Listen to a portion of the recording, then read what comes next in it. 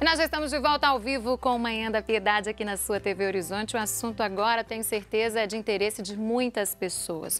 Você sente dores ou queimações nas pernas? O inchaço também lhe incomoda muito? E nos dias de temperaturas mais altas, a sensação é que a situação piora ainda mais, não é mesmo? Pois é, saiba que você não está sozinho nesta situação não, viu?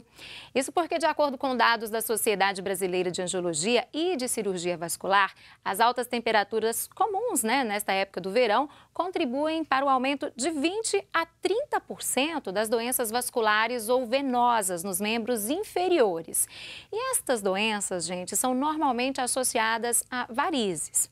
E ainda de acordo com estes dados, até 70% da população adulta sofre com varizes, sendo encontrada cerca de 30% nos homens e 40% nas mulheres. Bom, para explicar então um pouco mais sobre as varizes, nós estamos recebendo aqui no programa hoje a angiologista doutora Marina Fonseca. Doutora Marina, bom dia, seja bem-vinda. Bom dia, Síria, tá boa? Tudo bem, que bom que você Obrigada. aceitou o nosso convite, porque é um tema que gera tantas dúvidas nas pessoas, Eu né? Eu que agradeço a oportunidade. Então, quando a gente começa a falar sobre varizes, uhum. o que são as varizes, na verdade? Sim, as varizes é, são veias que se dilataram e que ao, o sangue, ao invés de seguir um fluxo único e direcional, ele fica, ele fica ali meio que parado, indo e voltando, gerando um refluxo. Então, cada vez mais essa veia se dilata, se torna uma veia doente e reflete no, em todo o sistema venoso ali próximo. Uhum. E existem tipos diferentes de varizes, Marina? Sim, existem tipos diferentes. Muita gente pergunta assim, é, se eu tenho vasinhos, eu tenho varizes? Isso é a mesma coisa? Não é a mesma Não é. coisa, é. mas fazem parte de uma mesma doença. As varizes, a classificação que a gente usa mais é de a classificação clínica CEAP, é, que vai de 1 a 6, vasinhos, que seriam as telangiectasias reticulares, está na classificação 1, e as varizes seriam a partir da classificação 2 e 3, que é com uma veia com diâmetro maior do que 3 milímetros. Os vasinhos não, os vasinhos, é, a telangiectasia é de 1 milímetro e as reticulares entre 1 e 3 milímetros. Por isso, assim, quem tem vasinho não necessariamente vai ter varizes, mas fazem parte da mesma doença numa classificação é, única. Os vasinhos são menores, é mais ou menos esta Exatamente. Uhum. E aí vai, dependendo do tamanho, torna-se varizes ou não. Isso, aí são vários fatores, né? Idade, é, genética, é, você pode progredir ou você pode, pela vida toda, permanecer numa classe 1 e ficar apenas com os vasinhos. Uhum. Mas aí, o que, que as pessoas podem fazer para evitar, então, as tão temidas varizes? Sim, é, é o que, que as pessoas mais preocupam, né? É, você tem alguns fatores que determinam o surgimento de varizes e alguns deles são modificáveis e outros não. Os genética, são, é, por exemplo, não tem jeito. Não tem como. A genética não tem como e a idade também não. Ao, ao, longo da idade, a tendência é de formar mais vasos mesmo.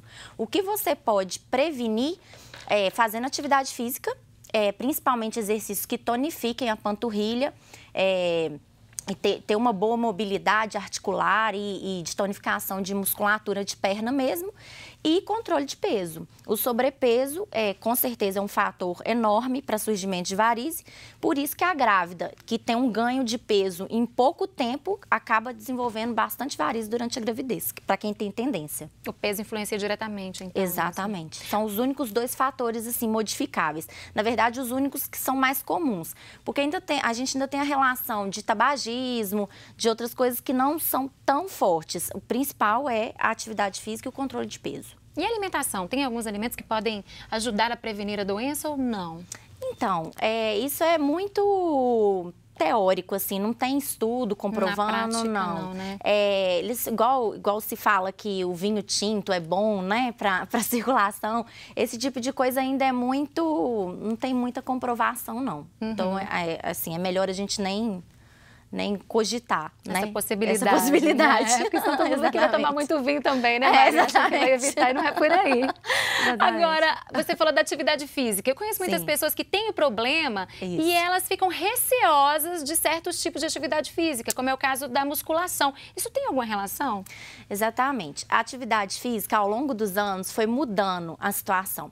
É, eu me lembro que quando eu tinha oito anos, apareceu uma varizinha na minha perna e aí me proibiram de fazer qualquer tipo de esporte de impacto. Porque eu fazia vôlei na época, então é, ficou com esse, é como se fosse um mito mesmo. Na verdade, não. Qualquer tipo de esporte que a pessoa se adapte e que ela consiga levar né, é, a longo prazo aquele esporte de uma maneira agradável e que esteja mantendo o peso dela e desenvolvendo a parte muscular dela, é válido. Eu não, não concordo com a afirmação de, de que impacto. alguns esportes deve, devem ser proscritos para o paciente que tem varize, não. Eu acho que o benefício é tão maior que, que não justifica o, o risco ou o surgimento de um vasinho ou outro, porque o benefício é muito maior. Qualquer uhum. tipo de esporte seria válido, desde que a pessoa se adapte. Uhum. Né, Não só para varize, para a saúde Com de uma certeza. forma geral. Né? Todos os profissionais que vêm aqui sempre falam isso, a questão da alimentação e, claro, da, da atividade física, né? Sim de manter uma rotina de atividade física todos é, os dias. Né? Que é o mais difícil, né? Muitas, muitas vezes as pessoas não têm, é, não entram numa musculação e não continuam. Então você tem que achar um exercício que você goste, manter nesse, se manter nele. Então o benefício disso é tão maior do que o surgimento de varizes que não justifica você, você chegar para esse paciente e falar, ah, não, você está proibido. E limitar a pessoa Exatamente. Disso, né? E agora, quais são as principais queixas das pessoas que têm problemas relacionados a varizes, Marina? É, a principal queixa é a dor mesmo, só que essa dor, ela oscila em, em, em, classe, assim, em situações diferentes. O paciente chega reclamando de queimação, o paciente chega reclamando de peso, nossa, minha perna fica muito cansada, é, inchaço, na verdade, às vezes nem é um inchaço visível, eu sempre pergunto, mas é um inchaço que você percebe é. ou é uma sensação de inchaço? Porque, na verdade, é uma sensação de peso mesmo, né, de cansaço, e a pessoa refere como inchaço. Então, essas são as, com certeza, E nem sempre é visível, sintomas. né? Nem sempre. Às vezes é só a sensação, sensação mesmo. Que, de porque está incomodando muito. Né, Exatamente. Né, Agora, por que que nessa época do, do, do, ano, verão, temperaturas altas, esses sintomas incomodam mais? Sim, os sintomas incomodam mais porque no verão a gente tem uma vasodilatação, né? Então acaba que se, se, se, os vasos têm uma permeabilidade, uma parede permeável. Então você libera uma quantidade maior de líquido e por gravidade ele tende a, a acumular na, nos pés, no, no tornozelo, então dá uma sensação de peso maior. Mas essa frase que estão usando de que no verão aumenta as varizes, não, isso não é verdadeiro. São Na verdade, os, os sintomas, sintomas né? exatamente. E aí os pacientes é, as pessoas, né, em geral, passam a usar roupas, né, de verão, de vestido, de short, tudo, e também percebem esteticamente a varize em maior intensidade, mas não significa que aumentou naquela, Elas naquela mais época. visíveis, né? Exatamente. E chamam mais e atenção. mais sintomáticas. Mais sintomáticas também. E tem alguma uhum. coisa que as pessoas podem fazer, então, nesta época do verão, para lidar melhor com esses sintomas? O ideal seria tratar antes do verão, né? Que muita gente às vezes não trata e porque está mais escondidinho, então não, não se preocupa tanto.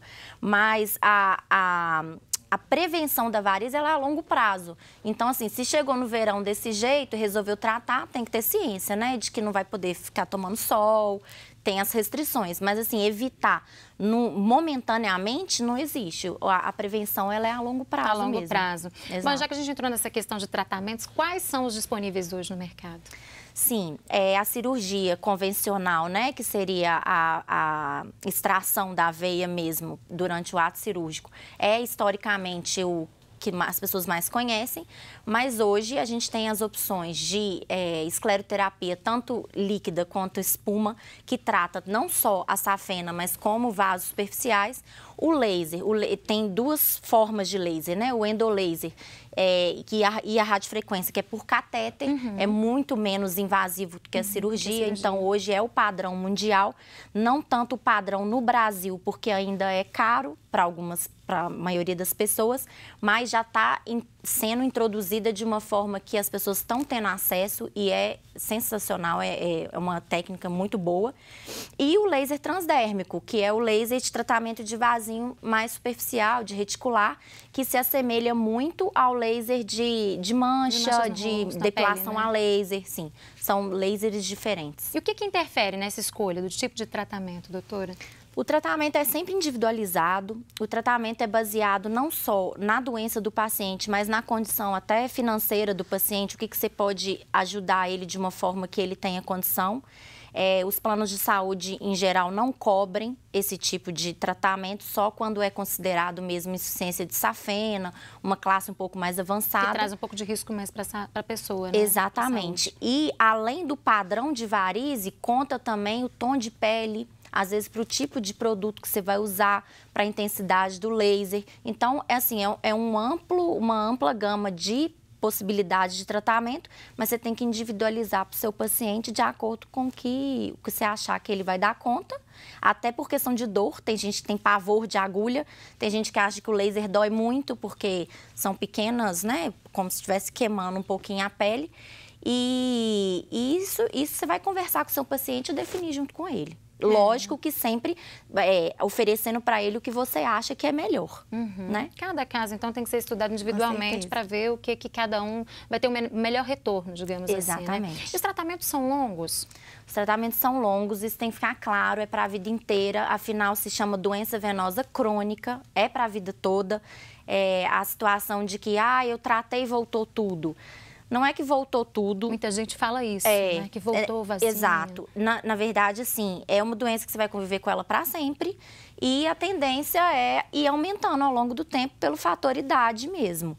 Então, assim, o que a gente, o que a gente orienta é para o paciente não deixar acumular começou a incomodar, começou a ter sintomas, sempre vai ao angiologista, é, é, procura tratar, ficar livre daquele, daquilo ali um tempo, daqui um tempo vai aparecer de novo, nem sempre no mesmo lugar. E nem sempre, assim, é, a gente fala que com um vaso tratado, aquele vaso não volta, mas na mesma região podem aparecer novos. Ah, surgir Então, assim que surgir, que a pessoa percebeu, o indicado é já procure um angiologista e não Sim. deixar acumular. Até para não ficar incômodo, porque o tratamento não é uma massagem relaxante, né? Qualquer tratamento desse tipo te, gera algum desconforto, para algumas pessoas mais, para outras menos. Então, para não ficar muito chato, não ficar doloroso, tratar aos poucos é sempre a melhor forma. Tá certo. Marina, você continua conosco no próximo bloco. Tá, você em casa? Tem alguma dúvida sobre este tema, sobre varizes? Você pode mandar uma mensagem, então, para o nosso WhatsApp. O número aparece para você. Mande agora, aproveite que a Marina está por aqui para responder. 996428473 é o número. Então, nós vamos para um rápido intervalo. No próximo bloco, continuamos a falar sobre varizes aqui no programa.